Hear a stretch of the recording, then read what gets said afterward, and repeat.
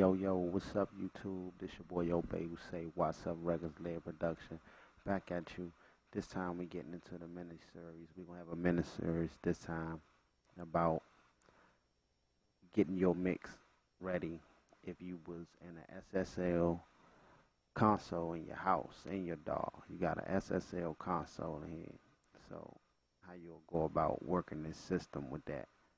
Alright, basically first thing you'll do, well, you'll be using your MIDI or whatever plugins you got to run to make your beat. So I ran drum uh, Drumcore uh, free. So Gary Thomas GT my drummer today, right? He the drummer for the day. Alright.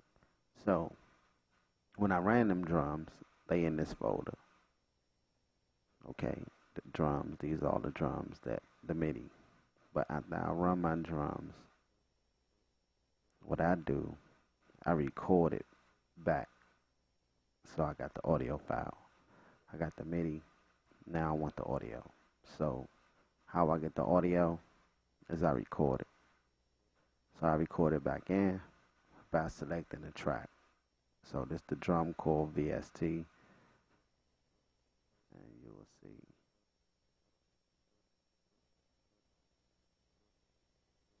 Like down here you see to say F15 sampler, which is right here. So basically this track is where I do it. See MIDI to audio. See it say MIDI to audio. This way I record all the tracks and then I drag it. Create a new track. Drag it to the new track. Name it. So basically, some of the tracks, I, while I played it, and let me show you what I mean. I'm gonna just give you a demonstration of what I mean.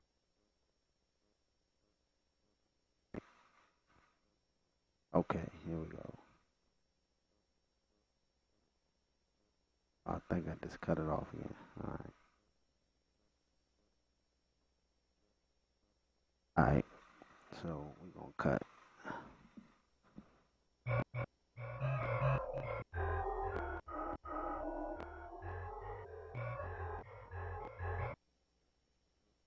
Right.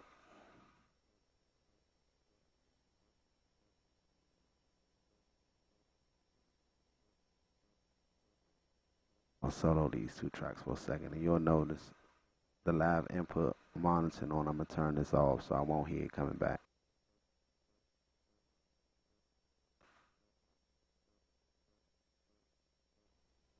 Alright, so I turned that off. I'm only getting that sound. I'm just gonna press record just to show you what I mean. So this what I do. But nine times out of ten, except for probably like five or six tracks, I recorded the MIDI first. Some of them I didn't record the MIDI. I just recorded. Press record here. Turn the record off for here because you still get the sound, right? And then I just recorded from the track, so I only got the audio.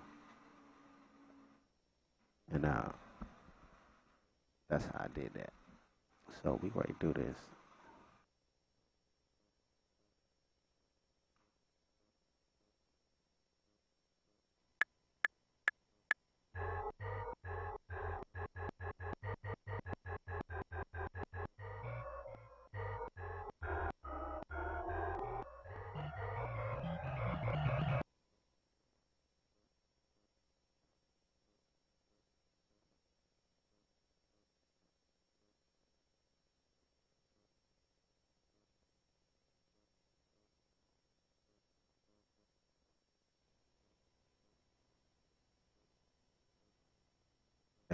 So basically, that's how I do it. Right there, that's the recording. Then I rename it. So this how I will rename it.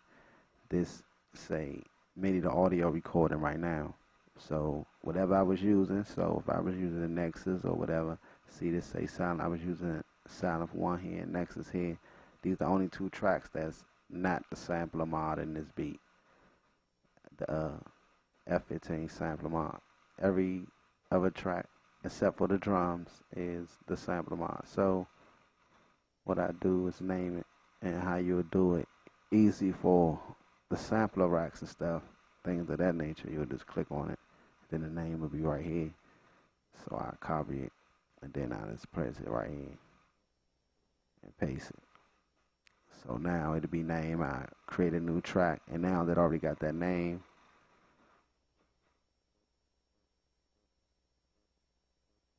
I'm just gonna go through the process so you can see this how I do it.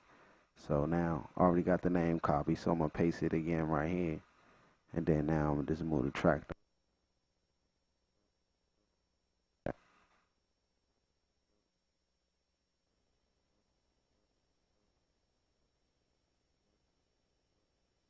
Okay.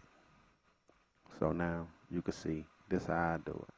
I color it. So now I got my track name. I got I know what it is. That's how I do that.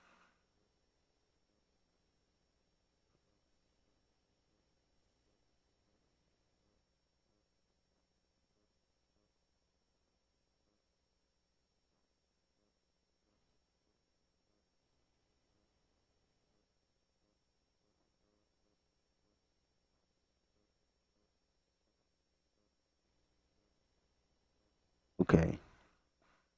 So basically, that was the way I do it, how I get my tracks back in. So with thinking of that, like I say, this is the tutorial on the SS, having a SSL in your house, in your DAW. So I basically recorded it back into the DAW, right? You know what I mean? I recorded everything back into the DAW. Okay. And now, what I did is I slapped the uh, white channel on every track.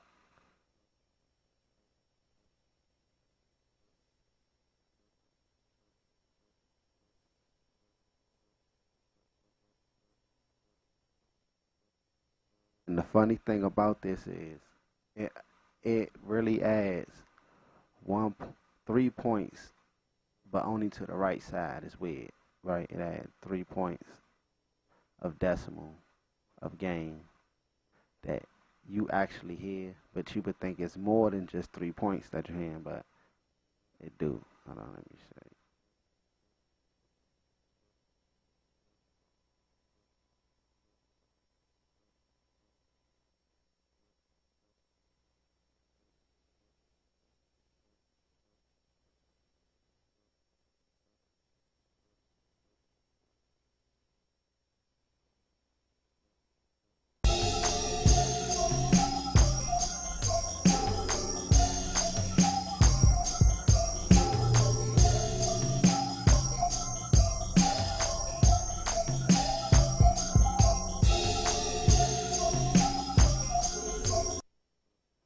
Alright, if you know, let me stop. I'm gonna stop it right there so you can see.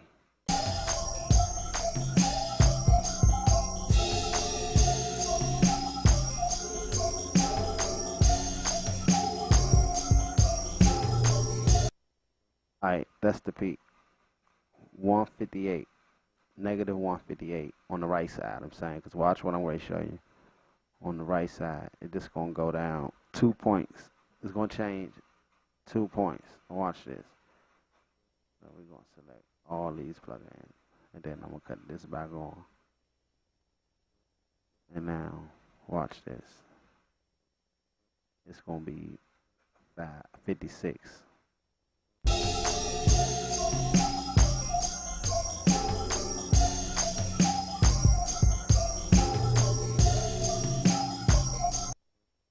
See that? See?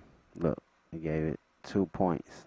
Only two two points of a decimal, but you really you hear the difference of what it do. It's like man, you can't explain it. When you slap this on every track, it really is. You feel like you really got a SSL in front of you. So, I mean, this the concept. So,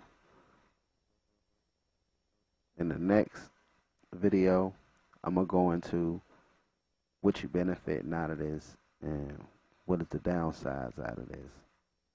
So stay tuned for the next video when I get into the ups and downs of using the console method.